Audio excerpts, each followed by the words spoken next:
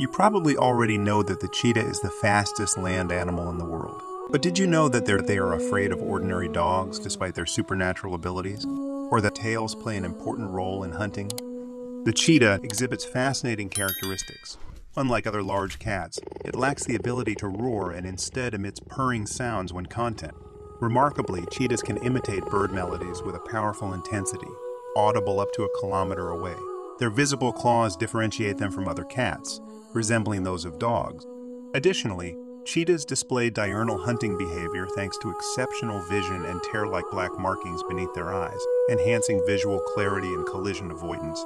Adult cheetahs weigh 3450 kilograms, owing to their slender bodies that enable speeds up to 120 kilometers per hour and agile tree climbing abilities.